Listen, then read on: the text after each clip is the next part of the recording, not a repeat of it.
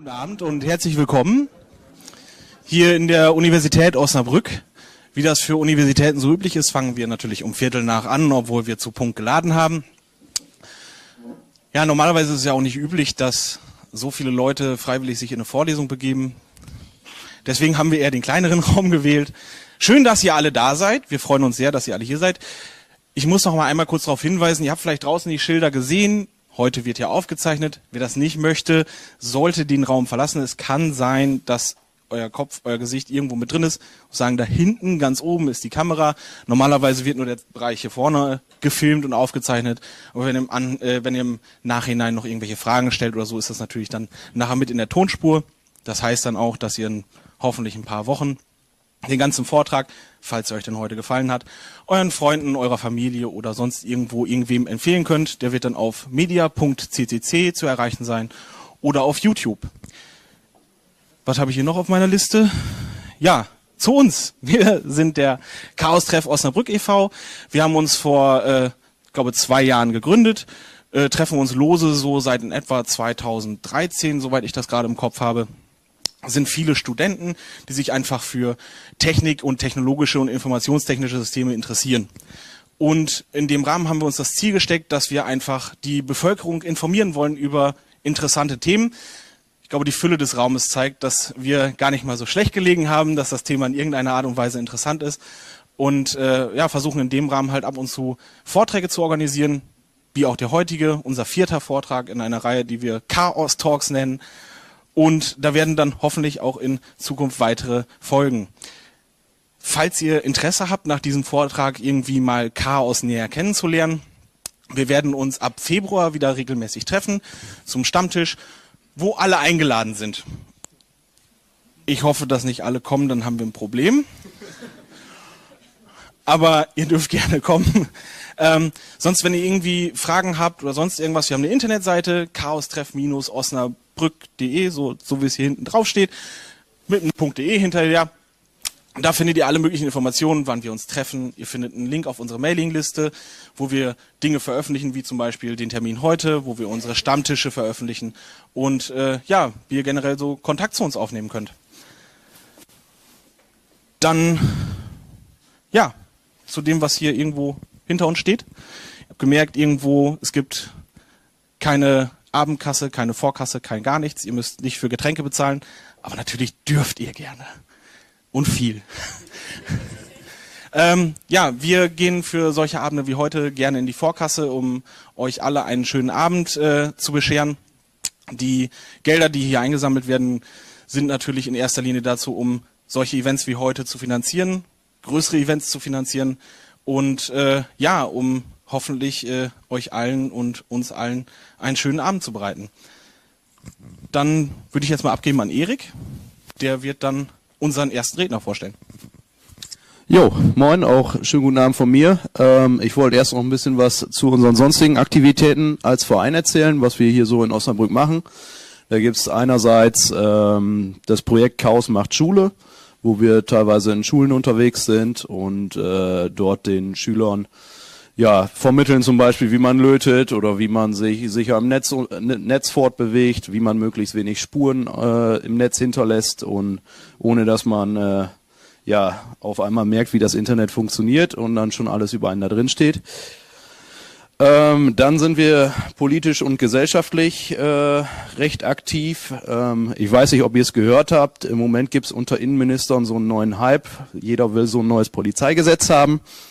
Da sind wir unter anderem recht aktiv mit, hier im lokalen Bündnis im, in Osnabrück gegen das Polizeigesetz Niedersachsen, als auch im Niedersachsenbündnis. Äh, dort, das unterstützen wir auch.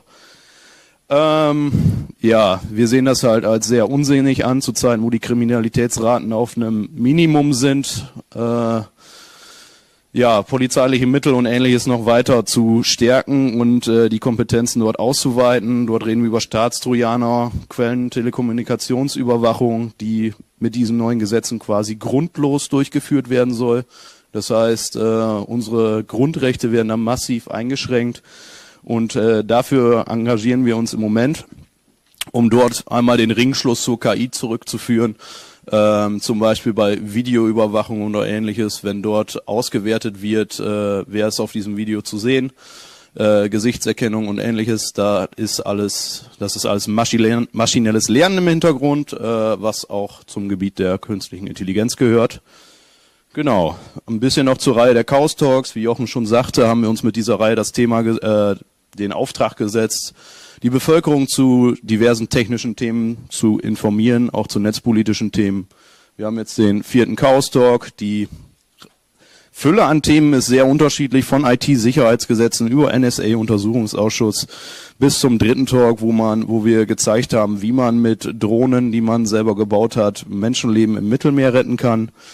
Äh, bis hin zu heute, wo es um KI und neuronale Netze geht. Warum haben wir das Thema ausgewählt? Ähm, wenn man heutzutage in die Zeitung oder Nachrichten guckt, ist mehrmals die Woche das Thema zum Beispiel autonomes Fahren drin, künstliche Intelligenz und ähnliches. Aber wir haben irgendwie so festgestellt, das erklärt niemand. Also der Begriff wird immer verwendet, aber niemand weiß, was steckt dahinter. Und äh, teilweise werden dann auch Horrorszenarien wie aus irgendwelchen Filmen aufgemalt, dass die künstliche Intelligenz auf einmal selbstständig wird und sich denkt, ach, unterdrücken wir mal die Menschheit. Geht nicht so einfach, weil so eine künstliche Intelligenz lernt eigentlich nur das, was wir ihr sagen, sie soll lernen. Zum Beispiel Katzenbilder erkennen. Eine künstliche Intelligenz, die Katzenbilder erkennen soll, wird nicht auf die Idee kommen, die Menschheit zu unterdrücken. Und wie das mit dieser künstlichen Intelligenz äh, funktioniert, wollen wir euch heute Abend erklären lassen. Dafür haben wir zwei sehr kompetente Redner eingeladen. Ähm, zuerst wird äh, Volker Strübing gleich anfangen. Volker Strübing ist 71 in Thüringen geboren, in Berlin aufgewachsen, war dann in der DDR als Facharbeiter für Datenverarbeitung aktiv, so hieß das damals, was heutzutage Fachinformatiker heißt und äh, ist Autor, sehr bekannter Poetry Slammer, Filmemacher, vielleicht kennt wer die äh, Animationsfilme von ihm Klos und Spinne. Und ähm, ja, er ist begeisterter Amateur im Bereich KI und Machine Learning. Wer seinen letzten Podcast gehört hat, da hatte Volker sich gefragt, warum werde ich dazu eigentlich eingeladen? Wir haben deinen Podcast davor gehört, wo du KI äh, ähm, beschrieben und erklärt hast und haben uns gedacht, Mensch, das ist doch eigentlich ganz gut erklärt, so dass auch Nicht-Informatiker das äh, verstehen. Und deswegen haben wir uns gedacht, das passt doch ganz gut. Und äh, damit möchte ich ganz gerne übergeben an Volker. Ein Applaus bitte.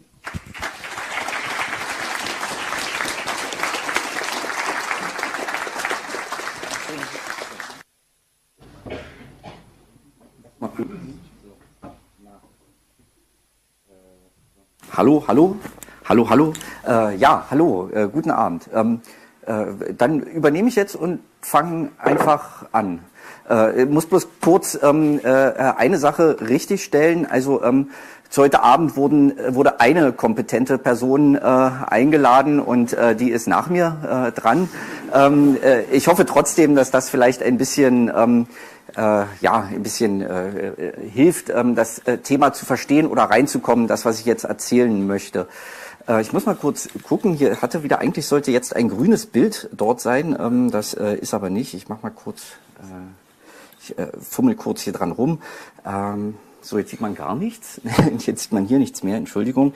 Ähm, es ist sowieso klar, dass einiges schiefgehen wird heute. Ich weiß noch nicht, was alles genau, ähm, weil äh, ja ich äh, sowas wie heute äh, normalerweise nicht mache. Ich habe tatsächlich noch nie in meinem Leben einen Fachvortrag äh, gehalten. Äh, ich war nicht an der an der Uni, wo man sowas wahrscheinlich äh, lernen kann oder so. Und äh, ich betrete Neuland und außerdem werde ich einige Sachen äh, ausprobieren, die äh, für mich auch ganz neu sind. Aber das ist äh, im Prinzip schon eine äh, Entschuldigung, bevor ich überhaupt angefangen habe. Ein grüner Bildschirm, na, es geht doch alles, ist doch äh, toll. ja. Äh, richtig cool wäre natürlich, wenn jetzt noch so grüne Zahlenreihen darüber äh, laufen würden, aber äh, das habe ich jetzt nicht mehr hingekriegt. Okay, ja, ähm, äh, künstliche Intelligenz, neuronale Netze, maschinelles Lernen, äh, wie Erik schon sagte, das hört man zurzeit sehr, sehr oft, diese ähm, äh, Wörter, diese Themen, diese Schlagwörter und oft sind es bloß Schlagwörter und oft, wenn sie gebraucht werden, sind sie verknüpft mit äh, entweder großen Heilsversprechungen, da ist dann vom Sieg über Krebs und äh, Verkehrsstaus und so weiter die Rede und äh, von noch besserer Werbung und so weiter, oder verbunden mit apokalyptischen Warnungen, ähm, dann heißt es, dass äh, Abermillionen von Arbeitsplätzen vernichtet werden oder gleich die ganze Menschheit.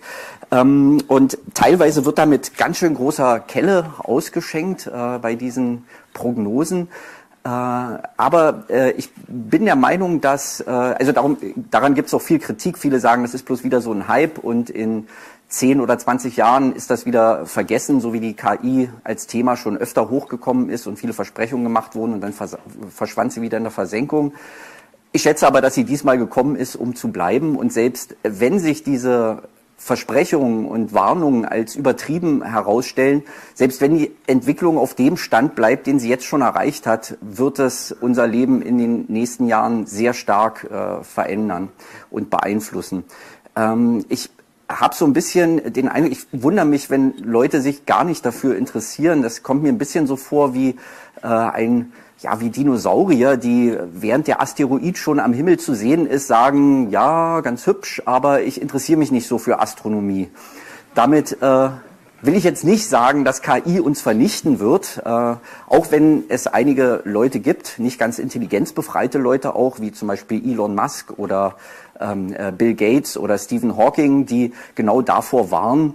Aber ähm, ich äh, denke, diese Apokalypse oder Apokalypse könnte man äh, vielleicht sagen. Wenn man Wortspiele mag, was ich tue, äh, wird äh, vielleicht an uns vorbeigehen. Wichtig ist das Thema auf jeden Fall. Was die Vernichtung der Menschheit angeht, ähm, wenn ich da mein Geld setzen müsste auf etwas, was die Menschheit vernichten würde, dann würde ich doch eher sagen, dass es äh, die Menschen selber sind. Vielleicht eine Kombination aus menschlicher Intelligenz mit äh, intelligenten Waffen oder so, das wäre denkbar. Insgesamt glaube ich aber doch, dass äh, Menschen einander viel zu gerne äh, gegenseitig umbringen, als dass sie das äh, komplett Robotern überlassen würden. Ähm, ja, aber wie gesagt, der ähm, äh, Einfluss künstlicher Intelligenz wird auf jeden Fall gewaltig sein, davon bin ich überzeugt und in übertragenem Sinne wird wohl auch der eine oder andere Saurier dabei den Huf hochreißen. Und äh, apropos Saurier, vielleicht noch ein paar Worte zu mir kurz. Äh, ich äh, bin äh, freischaffender Autor, habe keinen universitären oder sonstigen Background, der mich äh, ja qualifizieren würde, heute hier zu stehen und äh, über KI zu reden. Ich probiere es trotzdem. Ähm, ich war mal sowas ähm, wie man, ja, ich war mal ein Computerfreak äh, zu Zeiten, als man Computerfreak noch sagte und nicht Computer-Nerd. Das war äh, Ende der 80er bis Anfang der 90er äh, in der DDR. Ich hatte einen C64, es war toll ähm, und äh, habe damals auch ein bisschen programmiert und so weiter und äh, war in der Cracker- und Hacker-Szene der damaligen Zeit unterwegs. Ähm, man kann also sagen, dass ich so ungefähr weiß, was in Computern vor sich geht. Ich habe aber um das Jahr 1990 herum den Anschluss verloren und bin zum äh, ja, reinen User mutiert. In den letzten Monaten habe ich mich aus ja, vor allem privatem Interesse sehr bemüht, die Grundlagen und äh, ja, Konzepte von KI und maschinellem Lernen und so weiter zu verstehen. Ähm, und äh, es gibt viele Zeitungsartikel dazu und YouTube-Erklärfilmchen, aber die haben mir in der Regel nicht gereicht. Es gibt da so eine Art Erklärungslücke, möchte ich es mal nennen. Es gibt einmal sehr einfache, sehr unterkomplexe Erklärungen, die funktionieren nach dem Motto, ja, da sind so äh, äh Neuronen und äh, äh, dann macht's Algebra Kadabra und hinten fällt das Katzenbild raus oder so. Ähm, das ist ein bisschen so wie, es gibt so eine Malbücher, so eine Bücher, äh, die versprechen, ähm, hier können Sie lernen, wie man zeichnen lernt und dann sind die Beschreibungen so ungefähr, malen Sie einen Kreis, äh, malen Sie noch einen Kreis und ergänzen Sie den Rest des Gesichtes. Ähm, so kommen mir manche dieser Erklärungen vor. Wenn man dann weiter guckt und äh, ein bisschen tiefer einsteigen will, dann landet man schnell bei Sachen, äh, wo einem die eigenen Neuronen durchbrennen und man äh, eigentlich so, genauso gut gleich Informatik hätte studieren können.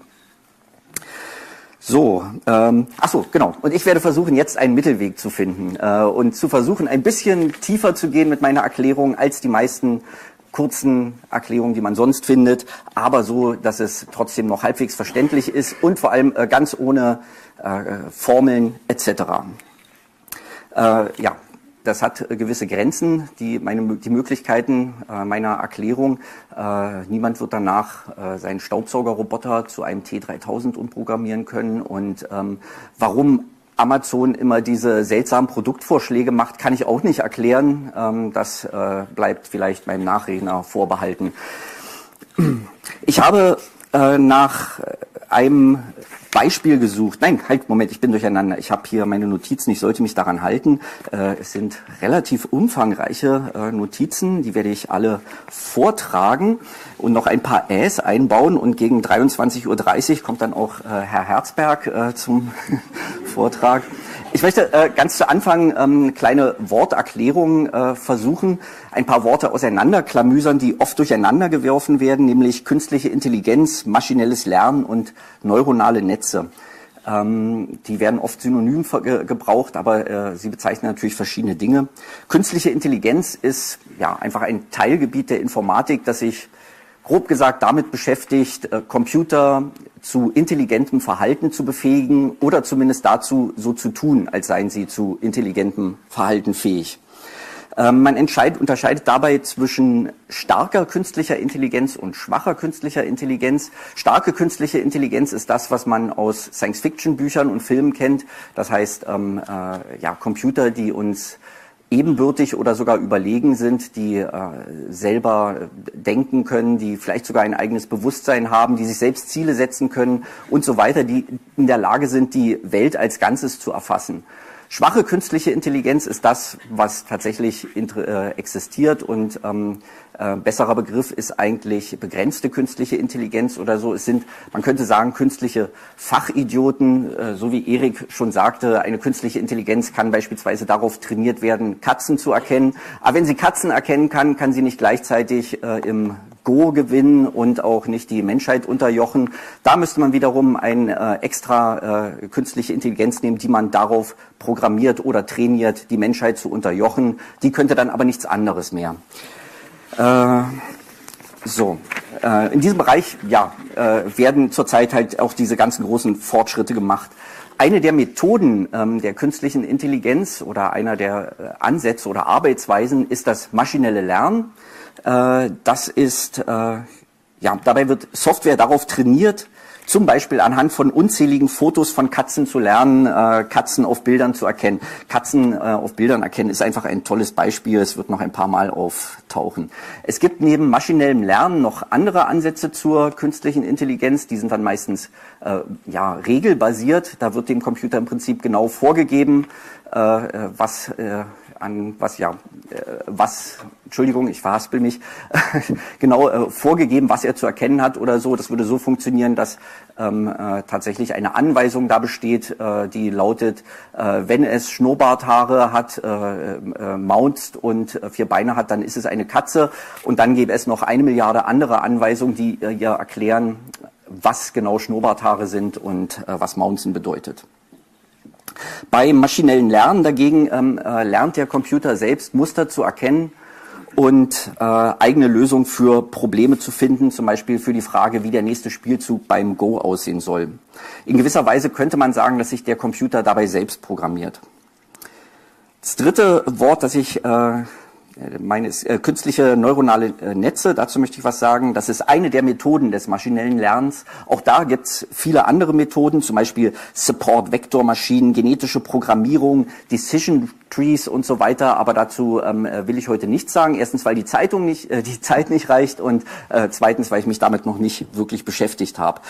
Außerdem sind neuronale Netze zurzeit ja die Popstars im Bereich des maschinellen Lernens äh, und das meiste, äh, was man so hört, ähm, hat neuronale Netze zur Grundlage. Die Idee dahinter ist, die Vorgänge in einem Gehirn zu simulieren anhand von künstlichen Neuronen, die wie echte Neuronen äh, miteinander verknüpft sind, jedes Neuron mit vielen anderen. Ich komme da gleich noch drauf zurück.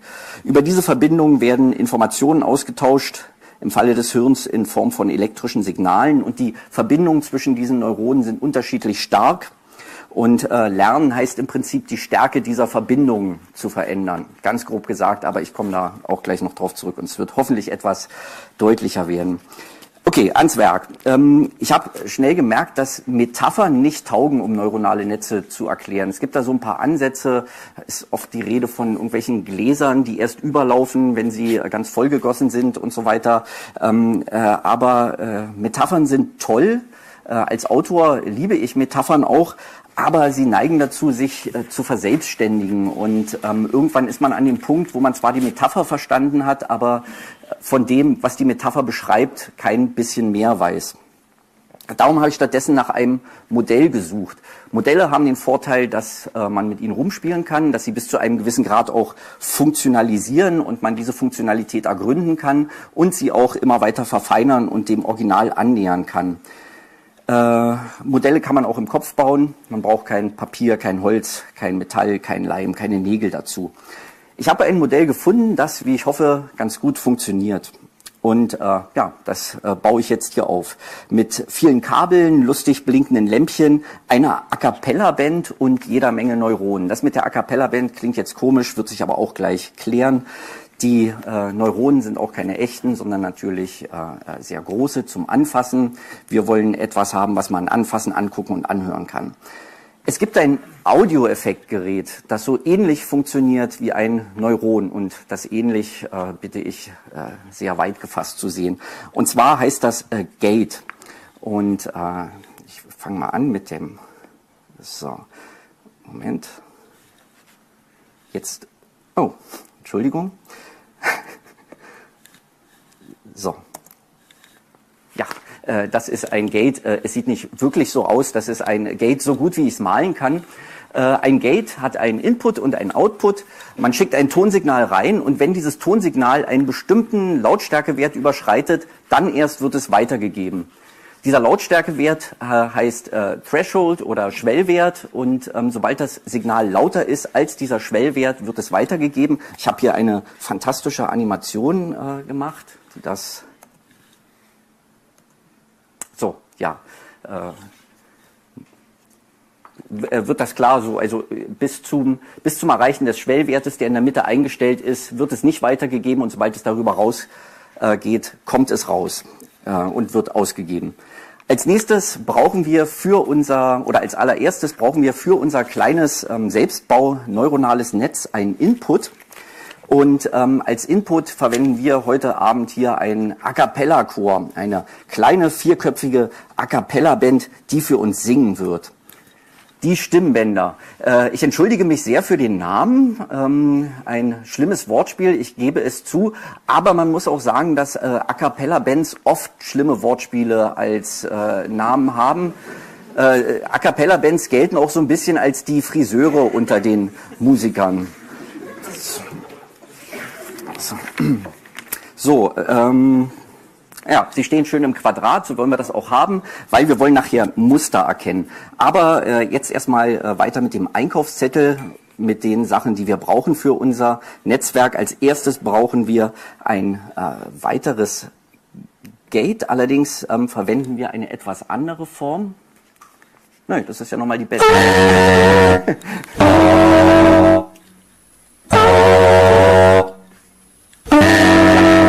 Dankeschön. Äh, ich bin ein bisschen durcheinander gekommen. Ich wollte noch kurz demonstrieren, was unser Netzwerk am Ende erkennen soll, nämlich ähm, äh, verschiedene Kombinationen von Sängern. Und zwar, äh, wenn äh, genau zwei nebeneinander stehende äh, A cappella Bandmitglieder singen, also entweder eine horizontale oder eine vertikale gerade Linie. Die soll erkannt werden. Ich habe da diese, dieses kleine Raster, dieses Gitter drunter gelegt, ähm, damit man äh, ja auch, äh, äh, um es ein bisschen visuell eindrücklicher zu machen und um später auf dieses ähm, äh, A verzichten zu können, was glaube ich in unser aller Interesse ist.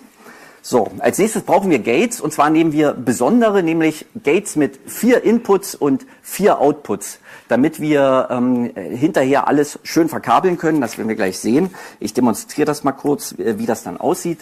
Ähm, man hat ein Gate, es kommt beispielsweise von äh, vier Sängern ein Input rein, ein Eingang rein. Das Input-Signal ist einfach das zusammenaddierte äh, der zusammenaddierte Input der Gesang der vier äh, Chormitglieder und aus jedem der einzelnen Ausgänge kommt das komplette Signal auch raus. Das heißt, da wird noch ein kleiner äh, Verstärker wahrscheinlich eingebaut sein. So, ja, ich denke, das ist äh, relativ äh, verständlich. Ähm, als nächstes brauchen wir Kabel, um alles miteinander zu verbinden. Und dafür nehmen wir auch besondere Kabel, die mit einem Lautstärkeregler versehen sind. Ähm, das ist eigentlich auch selbsterklärend. Äh, ja, so, äh, damit können wir fast schon anfangen. Wir brauchen bloß noch später einen Output. Der ist aber einfach eine Pegelanzeige. So, okay, fangen wir an mit dem äh, eigentlichen Netzwerk. Vorher mal ein Soundcheck. Äh, so, das ist das, äh, der, die Ausgangssituation. Wir haben unsere vier Chormitglieder. Jeder ist mit einem Gate verbunden. Und äh, ich, weiß nicht, warum ich die so komisch verkabelt habe hier auf dem Bild. Es wäre ja viel logischer gewesen, den links oben äh, auch ans oberste anzuschließen. Aber es ist jetzt halt äh, so. Damit müssen wir jetzt leben. Äh, ich hoffe, das, äh, man kommt damit klar. Wir können mal einen äh, kurzen äh, Soundcheck machen. Vielleicht könnt ihr kurz was singen. Okay, was sollen wir denn singen? Ist egal, von mir aus das Telefonbuch. Oh, das studieren wir gerade erst ein. Äh, vielleicht geht auch was anderes? Ja, ja, irgendwas, prima. Ja, ja, danke, danke, danke, danke, danke, reicht schon. Ähm, äh, keine Sorge, äh, der Ton wird nachher ausgeschaltet äh, sein. So. So, äh, das, was wir hier sehen, ist unsere erste Schicht, ähm, äh, wie es beim äh, Netzwerk heißt. Wir bezeichnen es hier mal einfach als Reihe. Unsere erste Reihe, nee, bleiben wir dabei, unsere erste Schicht, äh, die äh, sogenannte Input-Schicht wird das später werden. Aber ich wollte jetzt eigentlich noch die ähm, Fachbegriffe vermeiden. Äh, habe aber vergessen, welchen anderen Begriff ich mir dafür ausgedacht habe. Also bleibe ich jetzt dabei, das Input-Schicht zu nennen. Und ähm, äh, wir sehen, die, die äh, Schwellwerte sind hierbei so eingestellt, dass praktisch alles durchkommt, sobald die singen. Ähm, nur jetzt, wenn sie mal atmen oder einen Schluck aufhaben oder ähm, rülpsen oder so, dann äh, wird das rausgefiltert. Dafür wird, äh, werden Gates auch äh, oft verwendet bei äh, im tatsächlichen Einsatz, um beispielsweise Hintergrundgeräusche abzuschneiden oder ähm, Atmer rauszufiltern oder ähnliches. Das ist ziemlich langweilig bis jetzt. Ähm, äh, was wir jetzt noch brauchen, ist ähm, äh, mehr Kabel und mehr Gates. Und ähm, da kommt hier die zweite Schicht. So, ja, wir stellen die Schwellwerte in der, auf einen mittleren Wert und dann verbinden wir alles mit allem. Ähm, und äh, ich habe das äh, Konzept Spaghetti Neuronale genannt äh, und ich hoffe, man sieht durch. Darum mit den Farben sollte es ungefähr äh, verständlich sein, aber ich klamüse das mal noch auseinander. Ähm, das ist also der jetzige Aufbau und ich äh, schalte mal drei von den äh, Chormitgliedern weg. Dann sehen wir das. Also der äh, ältere Herr ist über, sein, äh, über seinen Eingang mit den vier Gates der zweiten Schicht verbunden. Und man sieht, diese Lautstärkeregler sind alle auf verschiedenen Werten, die sind völlig willkürlich eingestellt. Und äh, wenn er jetzt singen würde, was ich uns allen erspare, dann, ähm, oder ich zeige es kurz so, dann äh, sieht man es einmal, ohne es zu hören. Wenn er singt, sieht man, dass äh, an allen vier Gates, je nach Einstellung der Lautstärkeregler an den Kabeln, unterschiedliche Werte ankommen. So, das sind nochmal alle. Und jetzt äh, nehmen wir mal, äh, die, verkleinern wir mal die zweite Schicht. Dann äh, sieht man, dass jeder der Sänger über sein Output mit äh, jedem einzelnen Gate hier beispielhaft dargestellt am äh, ersten verbunden ist. Und was halt bei jedem Gate ankommt, ist ein Mix aus allen vier Signalen. Je nachdem, äh, wie die Lautstärkeregler eingestellt sind, äh, ist der Mix unterschiedlich. Jetzt würde man zum Beispiel, man sieht, das hier ist äh, praktisch runtergedreht. Das heißt, wenn man das jetzt äh, hören würde, wenn man da einen Kopfhörer anschließen würde, würde man die, nee, den Herrn mit dem grünen Kabel praktisch gar nicht hören. So, äh, dann fangen wir mal an, richtig zu bauen und bauen noch eine dritte Schicht dazu. Äh, das funktioniert nach genau demselben Prinzip. drei Gates. Diesmal habe ich sie kleiner gemacht und weil wir, warum sage ich gleich. Und ähm, jedes der Gates dieser Schicht ist wiederum mit jedem Gate der Schicht davor verbunden äh, über Kabel mit Lautstärkereglern. Es wird jetzt kleiner, die Schicht ist ein bisschen kleiner, weil am Schluss wollen wir bloß noch zwei Gates haben, beziehungsweise zwei Anzeigen, die äh, Ausgabeschicht, die aus zwei LEDs bestehen soll ähm, äh, die quasi für Ja und Nein stehen.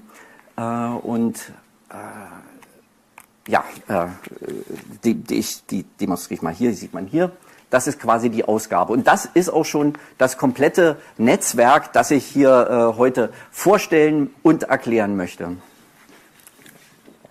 Ich glaube, ich habe noch einen äh, kleinen Test äh, dafür vorbereitet. Genau, das Ganze sieht äh, so aus.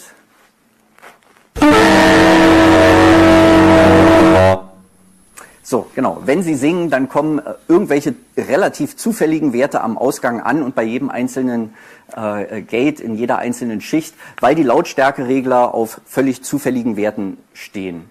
So, äh, ja, das war's. Damit bin ich fertig. nee, nee, es geht noch ein bisschen weiter. Ähm, oh, äh, ich mach mal schnell weiter. Äh, so, äh, ich habe jetzt mal ähm, äh, rausgenommen, den ganzen Mittelteil rausgebaut, damit es nicht zu verwirrend wird und außerdem, weil es ansonsten so schwierig geworden wäre, das alles zu animieren. Wir haben also hier die Eingabeschicht, äh, unseren Chor und dort die Ausgabeschicht, zwei LED-Anzeigen. Und wir wollen, dass diese LED-Anzeigen uns anzeigen, ob eine Linie von Menschen singt oder nicht. Ähm, ich demonstriere das mal kurz hieran, so an einem Bild. Wenn beispielsweise die beiden unteren singen, dann ist das eine Linie nach äh, meiner Definition und ähm, die obere Ausgabe, die für äh, quasi ja, es ist eine Linie stehen soll, soll einen möglichst hohen Wert anzeigen, während die untere am besten ganz aus ist oder einen kleinen Wert zeigt. Ein anderes Beispiel wäre, nee, ist nochmal das, ach ja, genau. Man könnte jetzt sagen, dass es quasi ähm, einen Zielwert gibt für diese Ausgaben. Wenn eine Linie angezeigt wird, dann ist unser Ziel, dass dieses obere, diese obere Anzeige ähm, eine 10 anzeigt oder eine 9 besser gesagt. 9 LEDs sollen dann leuchten und äh, unten sollten 0 leuchten. Ähm, ich habe die Zahlen jetzt hier weggelassen, weil, ich, äh, weil wir Zahlen nicht brauchen, aber vielleicht trotzdem ganz kurz einen Ausflug äh, in die Welt der Zahlen. Man könnte also sagen, unser Ziel unten ist 0 und unser Zielwert oben ist 9, falls eine Linie von Leuten sinkt.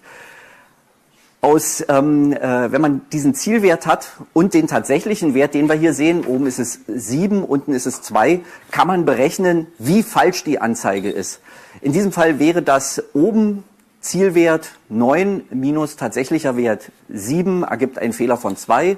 Unten Zielwert 0, tatsächlicher Wert 2, ergibt ein Ziel, einen Fehler von minus 2. Ähm, das Vorzeichen lassen wir weg. Wir haben also zweimal den Fehler 2. Man könnte also sagen, der Fehler in diesem Fall beträgt 4. So, äh, ein anderes Beispiel wäre, dass äh, einer links oben und einer rechts unten äh, singt. Das soll keine Linie sein. Ich habe beschlossen, dass das keine Linie ist. Es geht nur um gerade Linien.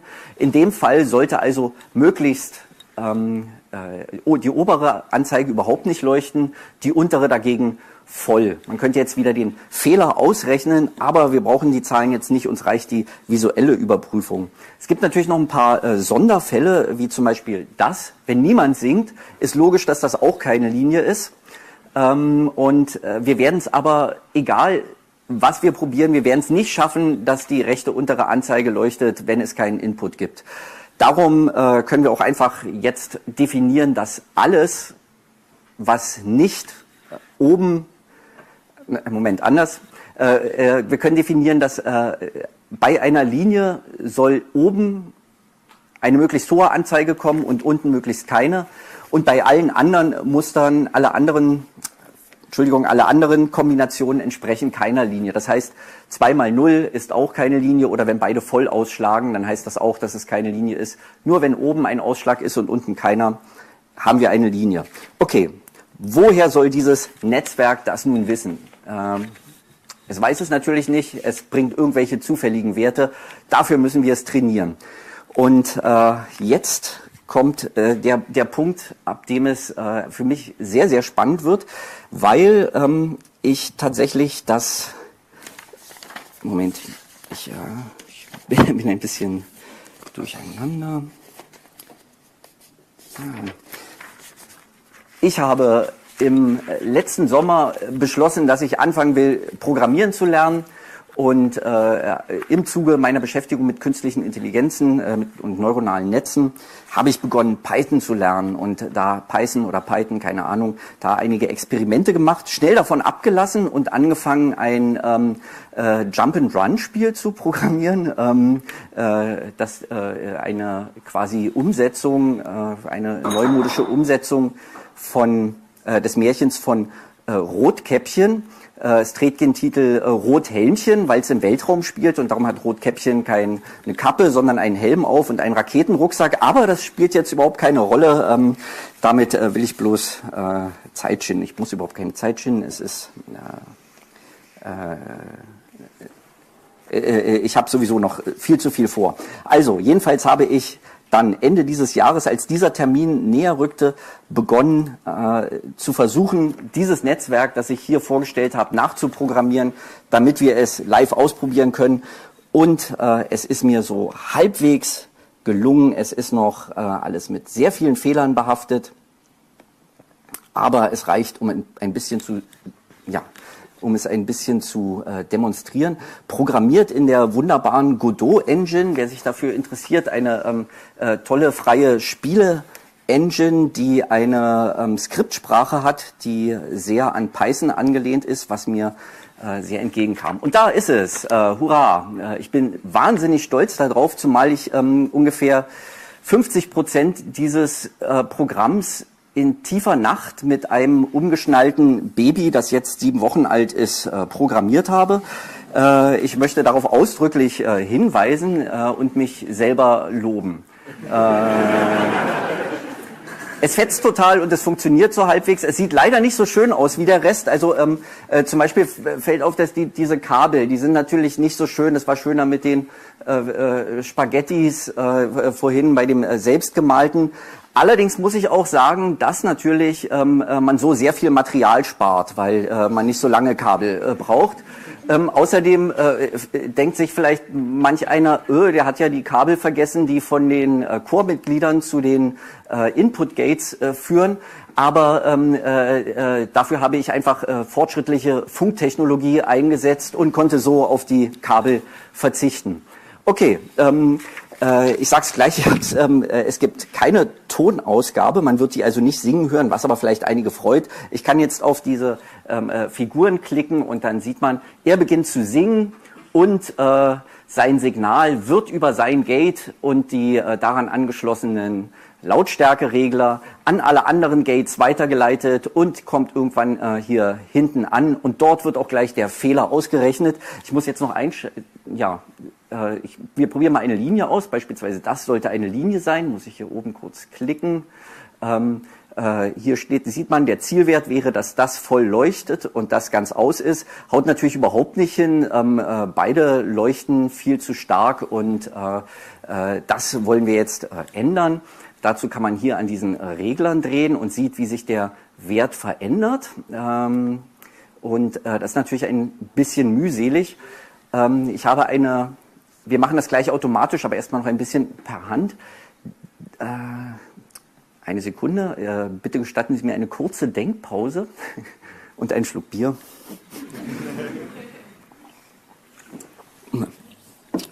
Okay, wir wollen also ähm, äh, die Regler so einstellen, dass hinten unser gewünschtes Ergebnis rauskommt.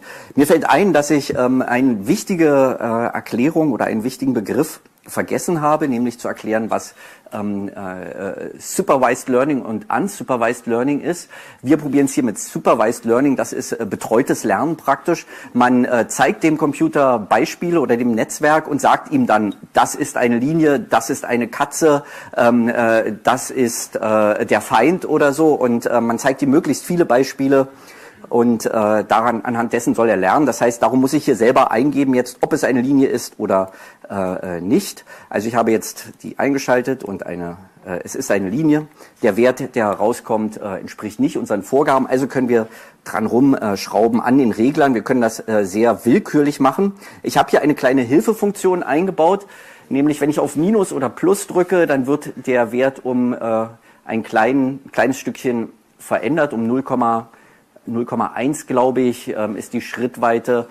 Ich habe hier alles auf Werte zwischen 0 und 1 ähm, eingestellt, nicht nicht 0 bis 10. Das heißt, wenn einer singt, dann kommt eine Ausgabe von 0,99 und wenn sie stumm sind, dann kommt plus 0,01. Ähm, ich kann kurz demonstrieren, hier nochmal die Funktion der Gates. An denen kann man natürlich auch rumschrauben, die äh, lassen wir aber, wie sie sind. Wir sehen, dass der äh, Wert zu hoch ist äh, unten und könnten darum, müssten dafür sorgen, dass hier unten weniger ankommt und äh, wir können mal hier auf Minus drücken und es gibt eine akustische und optische Kontrolle, ob das der Wert danach besser oder schlechter ist. Ja, ähm, es ist äh, besser. Meine kleine Tochter, meine Erstgeborene, hat mir bei den Soundeffekten geholfen. Und äh, wir können mal alle durchgehen und einfach wild dran rumklicken. No! Nein, das war nicht gut. Jetzt sieht man, das war falsch. Darum macht er das Plus jetzt rot als Zeichen, dass beim nächsten Durchgang ähm, ähm, anderen, in die andere Richtung geändert werden soll. Und der Wert ist wieder zurückgestellt worden. Und drücken wir hier. Uh -oh. Auch nicht gut. Uh -oh. Auch nicht gut. Ah, schrecklich. Ich glaube, ich mache mal den, äh, naja, nee, ein bisschen geht's noch. Ähm, ich schön. Ich höre meine Tochter gerne, ich muss heute auf sie verzichten. Äh, insofern bin ich ganz froh, sie zu hören. Auch falsch. Ist logisch, weil wir äh, hinten insgesamt viel zu, ähm, äh, viel zu hohe äh, Werte haben, die sich aufsummiert haben. Ich äh, mache mal kurz ein äh, Reset der Gewichte und wir äh, können mal hier anfangen zu schrauben, so ein bisschen. Ähm, und, ah ja, das, sieht doch gut aus. Ähm, jetzt, äh, wenn ich jetzt hier beispielsweise drehe an diesem Regler, sieht man äh, ein Problem dieses ähm, äh, Netzes beziehungsweise dieses äh, Gates. Ähm, es kommt, obwohl es einen Input gibt, kommt hinten nichts mehr an, weil das alles durch die Threshold-Regler, durch den Threshold-Wert ähm, unterwegs abgeschnitten wird. Ähm, äh, darum möchte ich gleich noch etwas äh, anderes einfügen. Äh, nämlich eine andere Aktivierungsfunktion. Dieser Threshold ist die Aktivierungsfunktion dieses äh, Netzwerkes, ähm, äh, die bestimmt, wann ein Neuron, ein Gate, aktiv wird. Und ähm, da in diesem Fall äh, ja, jeder zu kleine Wert komplett abgeschnitten wird, haben wir überhaupt keine Kontrolle hier hinten mehr, ob das äh, eine Verbesserung gibt oder eine Verschlechterung, wenn wir die Werte ändern. Darum habe ich eine ähm, äh, Funktion, äh, ich nenne sie Gate ähm, äh, eingebaut.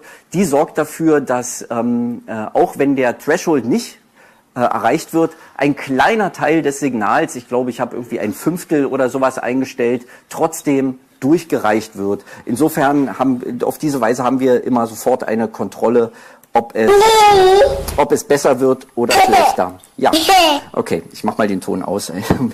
so, ähm, auf diese Weise könnten wir jetzt den, äh, alle Regler durchgehen, auf jeden einmal drücken, sehen, ob es besser wird. Wenn es besser wird, machen wir beim nächsten Mal ähm, äh, dasselbe nochmal. Wenn es schlechter wird, stellen wir den Wert zurück und merken uns, dass wir beim nächsten Mal in die andere Richtung gehen. So gehen wir Regler für Regler durch und gucken am Ende, ob unser Gesamtfehler gesunken ist oder nicht, was er dann eigentlich sein müsste. Und dann fangen wir wieder von vorne an. So lange, bis irgendwann da hinten ein möglichst kleiner Fehler rauskommt. Und ähm, äh, wenn wir damit fertig sind, sind wir verrückt, ähm, weil man das sehr, sehr oft machen muss. Und vor allem wird der äh, Chor wahrscheinlich zwischenzeitlich amok laufen. Aber hier habe ich eine ähm, Funktion, ist hier, das kann das, der Computer kann das zum Glück für uns alleine machen. Ich muss das mal kurz äh, hier hinzufügen machen ähm, als äh, Lernset. Jetzt haben wir hier ein Set definiert ähm, äh, von einem Muster, das der Chor singt oder einem Song. Und äh, das können wir jetzt das Netz lernen lassen. Es geht einfach so, wie ich das gerade gemacht habe. Schritt für Schritt alle Regler durch, dreht in die eine Richtung, guckt, ob das Ergebnis besser wird, geht dann zum nächsten Regler, guckt, ob es besser wird und ähm, geht dann wieder von vorne alle Regler durch. Und äh, je nachdem, ob der Wert sich beim vorigen Durchlauf verbessert hat oder nicht, wird die Richtung geändert oder nicht. So. Ja, äh, ja, ich finde, es sieht toll aus. Ähm, äh, wenn es grün ist, ähm, dann wird der Wert höher. Wenn es rot ist, dann wird er kleiner. Wenn es blau ist, dann hat er aufgegeben. Er fängt dann wieder an.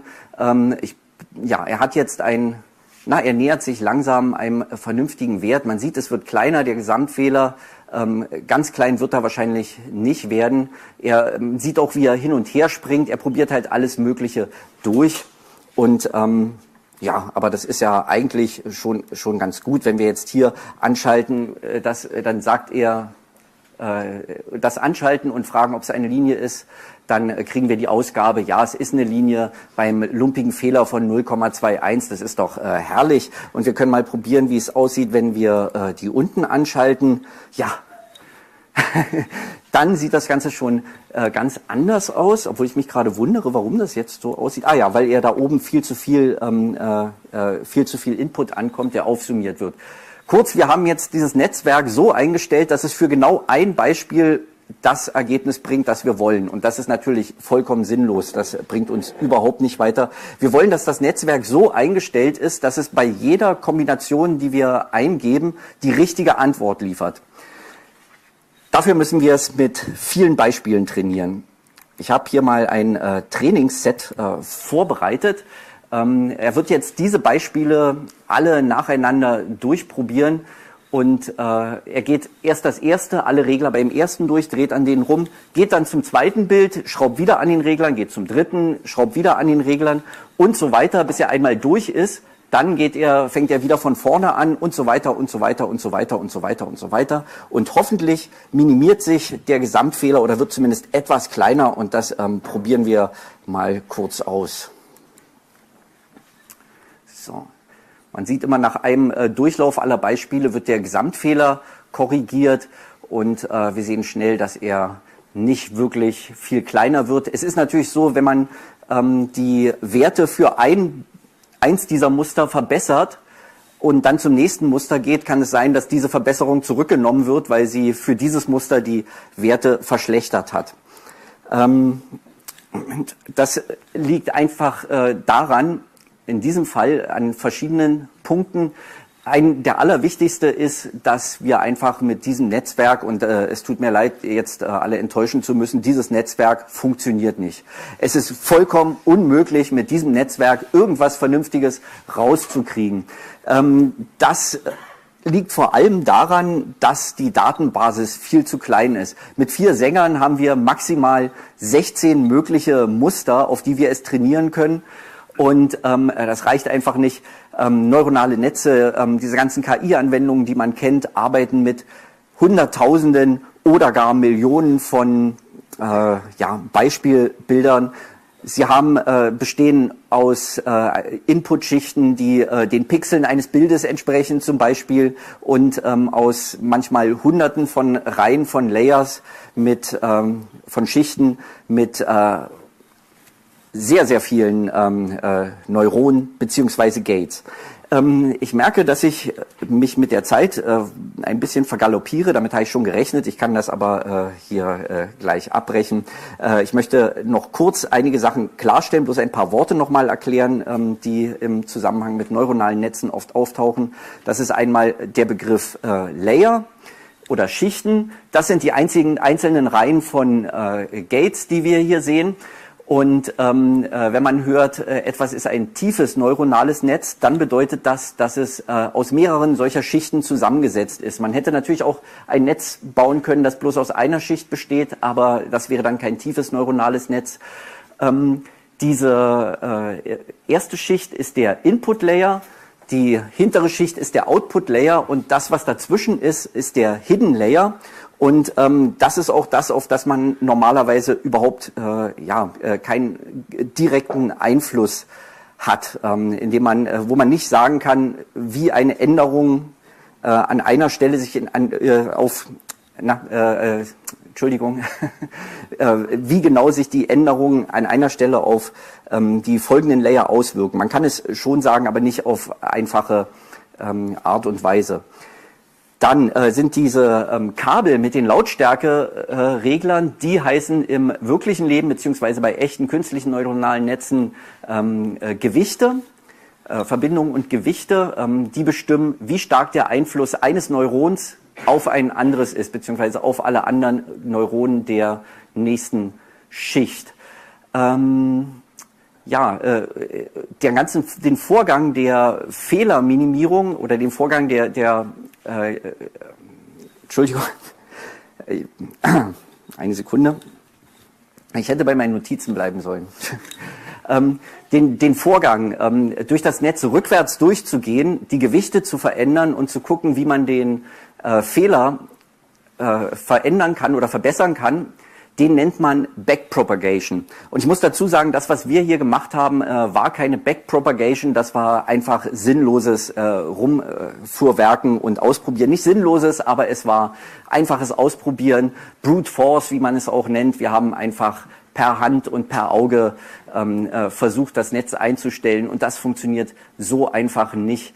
Ähm, das Tollste wäre natürlich, wenn man sich die Beispielsets angucken würde und ähm, äh, dann dieses Netzwerk und dann sagen könnte, wie die Regler eingestellt werden müssen, um das gewünschte Ergebnis zu erhalten. Aber das ist unmöglich und tatsächlich ist es auch ähm, äh, nicht möglich, äh, eine mathematische Funktion zu definieren, die einfach sagt, welche Einstellung die richtigen wäre. Es muss sich da angenähert werden. Der Fehler wird in äh, neuronalen Netzen schrittweise verringert. Ähm, und diesen Vorgang nennt man äh, Backpropagation, das äh, schrittweise Durchgehen durch das Netzwerk, das Verändern der Gewichte und äh, die äh, Anpassung der äh, Schrittweiten der Veränderung der Gewichte und so weiter. Aber ich hoffe, da können Sie äh, dann noch etwas zu sagen zum Thema Backpropagation. Ähm, zu guter Letzt ist es Zeit zum Schluss zu kommen äh, und äh, das Mikro zu übergeben oder machen vorher noch eine Pause, keine Sorge, möchte ich trotzdem noch eine Funktion vorstellen, die, äh, ja, die, glaube ich, einzigartig ist an meinem Netzwerk, ähm, äh, die auch bei aller gebotenen falschen Bescheidenheit, muss ich sagen, mich zu einem der führenden Experten weltweit auf dem Gebiet der ähm, KI-Sicherheit macht.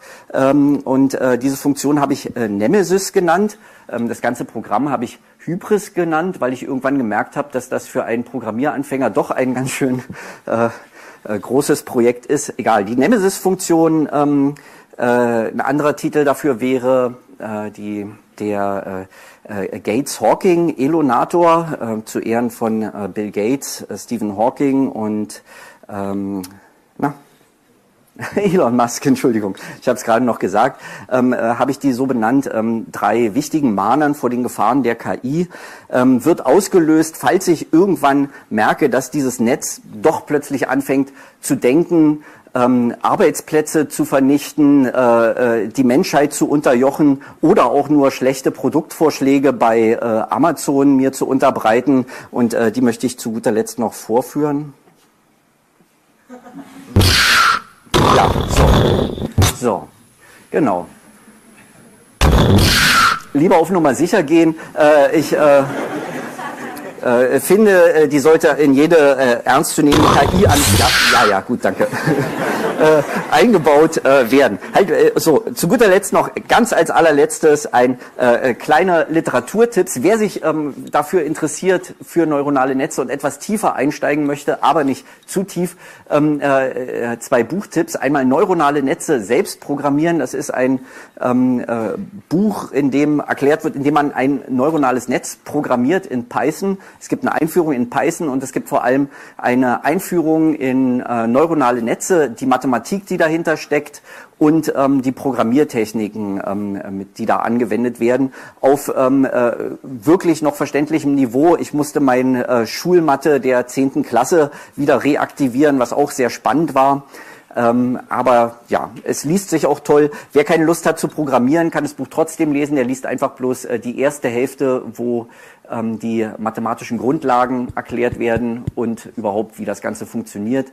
Ein bisschen tiefer geht das Buch Neural Networks, äh, Visual Introduction von Michael Taylor. Ähm, äh, For Beginners ist der Untertitel, aber das, da geht schon ganz schön zur Sache, muss ich sagen. Trotzdem sehr empfehlenswert. Und zu guter Letzt äh, die Webseite www.schnipselfriedhof.de von mir. Dort findet man meinen Podcast, ähm, mein äh, Oh, Schipselfriedhof. Ach, du ahnst es nicht. Ich habe das vorhin kurz hier draußen am äh, Getränketisch geschrieben. Kann man, naja gut, ähm, denken Sie, ach du Scheiße. Schnipselfriedhof, bitte merken Sie sich äh, den Namen. Jetzt, jetzt haben Sie es wahrscheinlich besser drin, als äh, wenn das nicht passiert wäre. Äh, dort findet man meinen Podcast, Videos von mir, ähm, äh, Bücher von mir und noch alles mögliche andere. Und jetzt danke ich für Ihre Aufmerksamkeit, hoffe, ich habe nicht allzu viel Unsinn erzählt äh, und äh, mich nicht allzu sehr verrannt und äh, Sie haben ein bisschen was daraus mitnehmen können äh, oder sich zumindest an äh, den äh, äh, Fehlern erfreut und ähm, ja, wünsche eine schöne Pause. Danke für Ihre Aufmerksamkeit und bin sehr gespannt auf den zweiten Teil und äh, Herrn Herzbergs Vortrag. Dankeschön.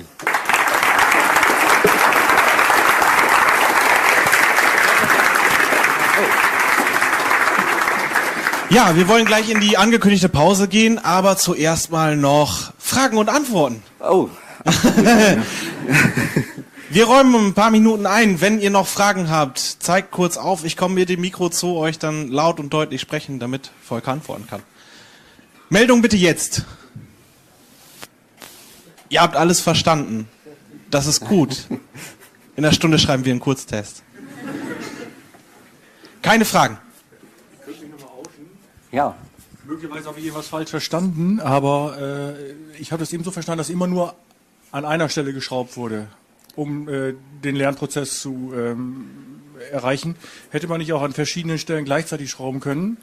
Äh, naja, äh, wirklich gleichzeitig passiert beim Computer sowieso nie etwas. Ähm, äh, er arbeitet immer nacheinander die Be Befehle ab oder ähm, aber äh, eigentlich, also man, man muss sich entscheiden, wo, wo fängt man an und wo geht man hin und ähm, äh, ja, also äh, ich weiß nicht, äh, es ist ja sowieso, ähm, äh, man könnte natürlich an allen schrauben, äh, erstmal an allen drehen. Äh, ich bleibe mal auch bei diesem äh, Bild, dass wir selber an den Reglern drehen. Man ja. könnte natürlich auch an allen Reglern drehen und ähm, äh, danach gucken, wie sich das Ergebnis verändert hat. Aber ähm, es ist natürlich äh, viel einfacher, an äh, einzelnen Reglern zu drehen und dann zu gucken, wie wirkt sich das auf das Gesamtergebnis aus, als erst an allen zu drehen, dann zu gucken, wie hat sich das Gesamtergebnis verändert, äh, dann weiß man ja wieder nicht, äh, wie welcher Regler welchen Einfluss darauf hatte. Ja, systematisch muss man in jedem Fall durchgehen, ja. da stimme ich zu, aber ich dachte, man könnte vielleicht auch an zwei Stellschrauben drehen und dann gucken, was passiert. An zwei Stellen geht auf alle Fälle, mit zwei Händen sollte das äh, kein äh, Problem sein. Aber ähm, äh, weiß nicht, ich, weiß nicht, ich, ich will jetzt gar nicht, äh, diese Frage tatsächlich kann ich die jetzt nicht äh, genau beantworten, sondern nur so, wie ich das eben gesagt habe, dass es mir auch sinnvoller erscheint, ähm, Regler für Regler durchzugehen und zu gucken, ähm, ob das äh, Ergebnis sich verbessert hat oder nicht. Ist natürlich auch eine andere Sache, ähm, äh, ob man das auf diese Art hier macht, wo wir nichts als die äh, äh Kontrolle haben, ob es besser wird oder schlechter wird, oder ob es ein Back Propagation-Algorithmus gibt, der eben äh, bestimmt, welches Gewicht welchen Einfluss hat und ähm, äh, der einfach viel zielgerichteter vorgeht und äh, vielleicht diese äh, unmittelbare Kontrolle nicht braucht. Okay, danke schön. Noch weitere Fragen? Okay, ihr seid alle durstig. Verstehe ich. Gut, dann machen wir jetzt eben eine Viertelstunde Pause. Das heißt dann irgendwo nach meiner Uhr so in etwa um 19.25 Uhr treffen wir uns dann hier wieder und dann geht es mit dem zweiten Teil des Vortrags von Herrn Professor Dr. Herzberg weiter. Tränke sind hier vorne, Toiletten sind da hinten. Noch einen großen Applaus. Vielen Dank.